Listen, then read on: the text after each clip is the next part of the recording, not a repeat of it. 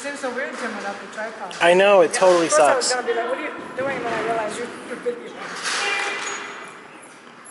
Alice, you didn't fall. You show her that line. Because you center over it like this, and then you turn. You have to be already turning as they're taking it, before they're taking it.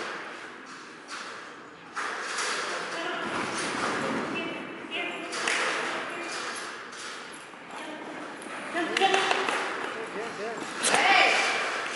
So, these are a pretty good example of stuff you're gonna run into out here.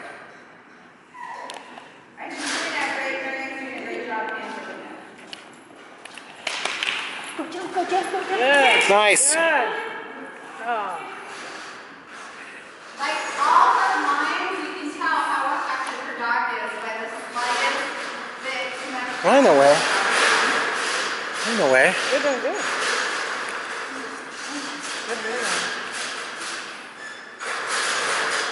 You look like a rough person. That's bullshit. There's no way. No, I'm just saying. You know, I got in the mail today was my Fitbit scale. Oh, you did? Yeah. Fitbit scale? What is it? It's called an Aria scale. Is it an actual scale? Yeah, it's a Wi-Fi thing, and then you step on it, and it, wanna do six with it sends an electronic pulse between your wanna do eight? feet, so not only does your weight, it gets your body fat percentage. Oh, Put him up, Travis. Yeah. That was really good.